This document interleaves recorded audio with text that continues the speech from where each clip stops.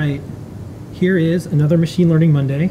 Yay, brains! We're really happy to debut what we think is going to be the easiest way to understand some of what machine learning is, and Yes. we called it Braincraft. And we'll talk about that in a bit. But first, I wanted to um, say kudos, Lady Ada, for making things like the Crickit hat for Raspberry Pi that made Yes. robotics really easy on the Raspberry Pi. Mm-hmm. We made things like CircuitPython Blinka for Raspberry Pi, and that made it really easy to get sensors in. Yes. And so one of the themes that we have is is it, can you understand something in five minutes? Can you can you do a demo in five minutes? Yes. And so you started working on the Braincraft hat, and yes, this came is, from We had the video. yeah, we this came from meeting with Pete Warden.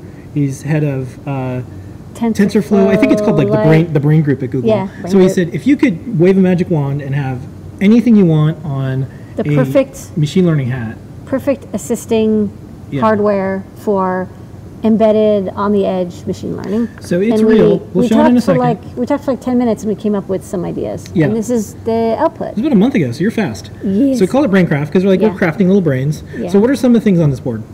So I we I looked at you know what are people doing with TensorFlow Lite machine learning, and it's a lot of it is either vision recognition, audio recognition, um, or plugging in sensors and trying to do sense recognition. To be clear, this is what they say they're going to do for their startup. I haven't seen, and this is the problem. We haven't seen a lot of these demos in action. There's lots. it's of, very hard. Yeah, there's when, when we're like, okay, cool. Let's can we see a vision demo? It's like, well, not really. Or it'll, or you'll see a terminal with a bunch of words. It's Well- like, how could you actually see what's going on? Yeah, another thing is that it, the Raspberry Pi computers, which is what people, as the most popular single board computer, there's like millions of them, they weren't fast enough to really do, they could do some audio, but they couldn't do vision recognition. Audio recognition, we have seen some projects. We saw the AIY kit, Yeah. which. Uh, we have two products that do um, Yeah, the vision kit. Speech. The Vision Kit has a hardware accelerator, but the audio kit actually um, it uses the internet. Yeah. I think We So- don't want to use the internet. Which and we don't want to use the internet anymore. So what we're trying to do is do edge computing. So you don't have to have internet connectivity. You can do everything on the device itself. And the Pi 4 is actually about fast enough to be able to do some of these things. Yeah, turns out it's it's really fast, and we're going to show some demos. Mm. So okay, so what's what are some of these things on the board itself? What does it have? So um, this is the bottom of the board. So um, the lower area is the audio um, input output codec. So it's an I2S um, codec that has three analog audio inputs, three analog uh, audio outputs, uh, including a stereo um, headphone and also stereo speaker output. So it's like the WM8960, I think, which is a really nice codec. Uh, that does it over I2S, so it can get good quality digital to analog conversion.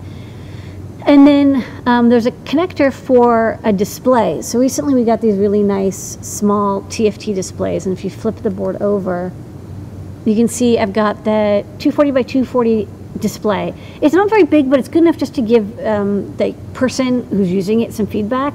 And I want to have it be like low cost and small. You also have some RGB LEDs, some dot star LEDs, so that gives you three LED outputs that can be used for if you're not close enough to see the display, you can have it blink lights that are visible from far away.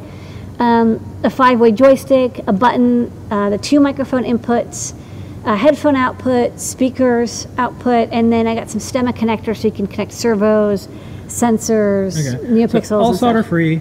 Um, you can plug in sensors. We have all the libraries for it. Yeah. And then what we want to do is out of the box, first thing, you just plug it in and it starts doing vision. Vision's a, a popular one because Yeah. the Pi has the camera. There's a slot for the camera, and the camera is a really good way to get some quick um, machine learning, like object detection Yeah. going. Let's boot this thing up. So we have two cameras here. We have one, this is a split screen. Yeah, So that's where we're going to stand and show some of the objects it's going to recognize. And And that's the actual device. This is real. We'll be shipping this soon. So yeah, it's like down here. Yeah. So let's uh, let's start it up. Okay, so I'm going to start this out. I'm actually SSH'd in, so it's just going to come up. Okay. But I, you know, I could I could type on here if Yeah. I wanted to, and that's just showing the console of the Raspberry Pi as I booted. All right. So I'm using um, RPi Vision, which was written by this woman Leigh, and um, I've got Pygame going with it as well to help me do some annotation. Okay, so one of our ideas is what if you could do something like a scavenger hunt? So you get this out of the box, it could be for kids, it could be for adults, but the first thing is let's do a scavenger hunt. So um, I, I need to go get a coffee cup. Yeah. Coffee mug. Now, you just heard it speak coffee mug. That's important because we also wanted to have real audio feedback. Maybe you're vision impaired, or maybe you just want another way to know what it is. Yeah, so there's like a headphone connected Right. here. Next up.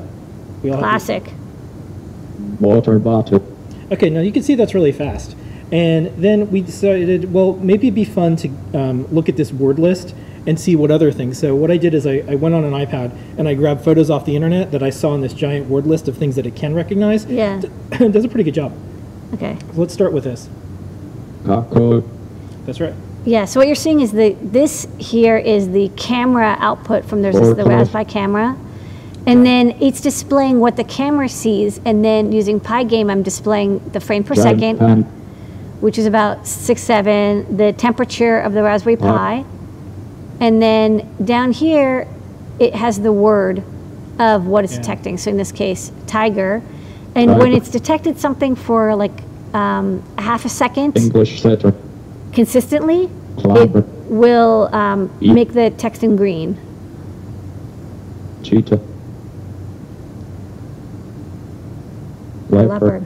That's They're actually kind of similar animals. Yeah, and that's that's neat because we've we've tried a few different ones, and we're like, okay, let's see, you know, we'll know the difference between a cheetah, cheetah and a leopard, and it did. So um, I want to just show how fast it can go.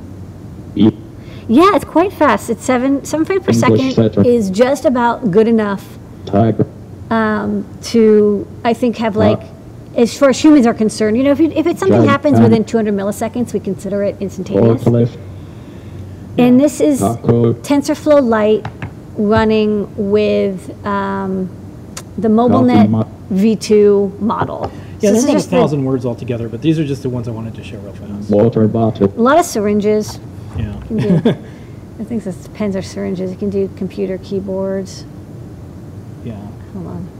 That, sorry. I'm going to break everything. Computer keyboard.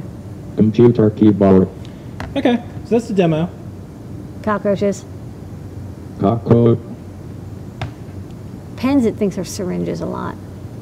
And then it thinks the back around here is a Bullet bullet train. train, which is Yeah, kind because of of cool. the fluorescent lights, which is not a bad. it's not a bad Yeah. guess. I could I could see that. Okay, so that's our demo. Yeah. Um, we'll be showing more of this, but this is world premiere, and uh, not bad. Yeah. Uh, this is the only Pi Hat machine learning demo that I've seen where you plug it in, it starts up, and you can do immediate object recognition. Um, one of the things I'm going to send an email to see if I can find someone at TI. Wouldn't it be re- really cool if there was a uh, AI ML speak and spell? So speak and Yeah. spell ML from TI. So you That'd hold up cool. things and it's like things, yeah. I recognized it and then it spells out what the thing Yeah, is. and it could be battery powered. Yeah. And you would go around and it would say, okay, today's scavenger hunt is all sorts of, you know, foods. Yeah. Next one is, oh, you're going to the zoo. A lot of dogs. There's yeah, a lot there's, of there- dog there's a breeds. lot of dog breeds in there. So, okay. well. Tigers, animals. Uh, Braincraft, and that is Machine Learning Monday. Okay, so this is our first demo, but so far so good with the TensorFlow Lite MobileNet V2 detection.